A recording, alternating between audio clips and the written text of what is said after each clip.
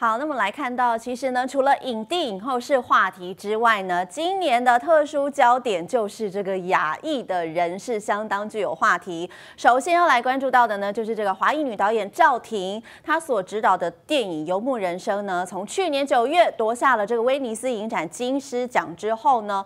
陆陆续续就抱走了国际间有许多的奖项，像是这个制片工会奖啦、英国奥斯卡等等的大奖。三月的时候呢，金球奖他也一口气抱走了最佳导演、最佳戏剧影片奖。算一算呢，这个《游牧人生》这一部电影哦，他已经获得了超过四十座的奖项了。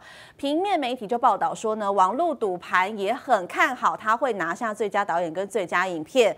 果然，刚刚呢，他是不负众望，获得了最佳导演。来看一下最新的典礼画面。I've been thinking a lot lately of how I keep going when uh, when things get hard, and I think I think it goes back to something I learned when I was a kid. When I was growing up in China, my dad and I used to play this game.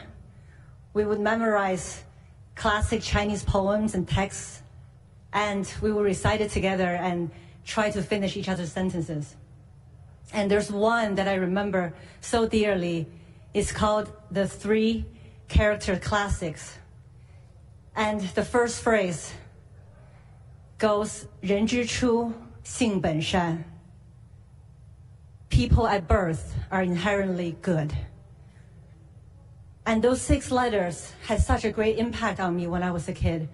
And I still truly believe them today even though sometimes it might seem like the opposite is true, but I have always found goodness in the people I met everywhere I went in the world.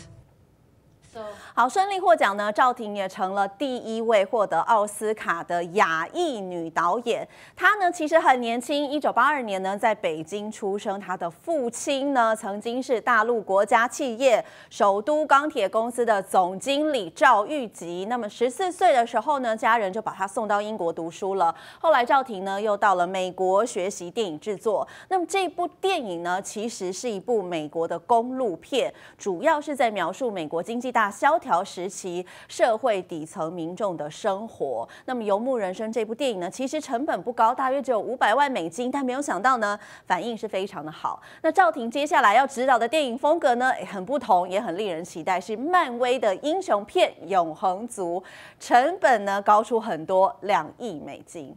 好，另外一个焦点要看回来的是哦，也是一样，亚裔的女性，七十三岁的南韩国民奶奶尹如珍，出道了五十五年。有常常看韩剧的人一定会觉得她不陌生，因为她演了很多韩剧、很多电影，也主持综艺节目《饮食堂》。她今年呢是以这个《梦想之地》这部电影入围了女配角，那么刚刚呢是如愿获奖了，而且呢在刚刚发表这个得奖感言的时候相当可爱啊，她跟在场的布莱德比特说，很高兴终于看。到你了。那么这一次呢，抱走了小金人，也让他成了第一位获得奥斯卡的南韩籍演员。那其实呢，在获得这个奥斯卡之前呢，尹如珍呢已经凭借着这部电影获得了有二十多个奖项了。那么这部片呢，《梦想之地》是描述一九八零年代移居到美国的一个南韩的家庭。那么尹如珍呢，在片中就饰演这个外婆，跟着孙子呢，还有女儿女婿一起搬到美国。那么他和孙子之间有许多可爱的。互动精湛演出也让观众深深感动。